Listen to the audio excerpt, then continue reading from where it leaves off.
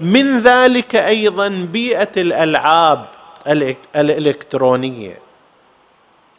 نبهنا أكثر من مرة ونظل ننبه وما نظن أن كل هذا التنبيه هو كاف إلى أن الألعاب الإلكترونية خطره إلى درجة غير محدودة. تلاحظ الطفل عنده شحنة عنده طاقة. تشوف عادة المفردات التي تدور في هذه الألعاب عادة مفردات اسحق جمجمته. طيب؟ اقتله مزقه. هذه الحالة من التهديم والتحطيم والسحق والقوة الجبروتية اللي هي على الشاشة فقط. تجعل هذا الإنسان الذي يلعب بطلا افتراضيا لكن بطولته في وين؟ مو في أنه مثلا يحل الألغاز مو في أنه متفوق في المعرفة مو في أنه عنده أفكار مبتكرة وإنما في أن يحطم الخصم أن يسحق أن يقتل أن يؤذي.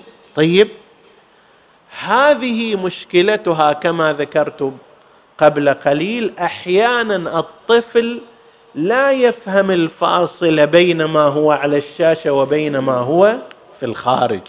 تتمكن منا هذه الحالة حالة التحطيم والسحق والقتل. طيب حتى بعض الألفاظ الآن أطفالنا أبناء الست سنوات إلى 13 14 سنة. بعض الألفاظ التي لم يسمعوها قطعا إلا من خلال هذه الألعاب الإلكترونية. كلها ضمن هذه الثقافة ثقافة إفراغ الحقد حالة التنمر الشديد تحطيم الخصم. فإذا نقلها إلى الخارج وتمكنت فيه إلى أنصار شاب وراى أن هذه هي فلسفة حياة. فد يوم من الأيام شاف أنه لما صف الخصم ماله قدامه انفتحت أمامه أبواب. يتبين أنه اي نعم هذه هي الطريقة الصحيحة في الحياة. لا أكو طريقة أخرى. هذا أمر يجوز شرعا لا يجوز شرعا يصح عقلا لا يصح عقلا.